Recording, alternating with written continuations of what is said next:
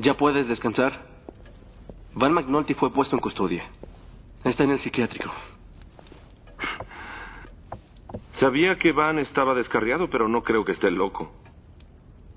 ¿Por qué dices eso? Churchill dijo una vez, fuera de complejidades intensas, las simplicidades intensas emergen. Tal vez tenga razón sobre mí. Lex es un demente. Pero Chloe Sullivan no. ¿Cuántas veces he estado frente a la muerte y he salido caminando sin un rasguño? Prácticamente no sé cuántas. Las cosas extrañas pasan. Siempre pensé que la razón por la que sobreviví a ese accidente en el auto había sido tú, Clark.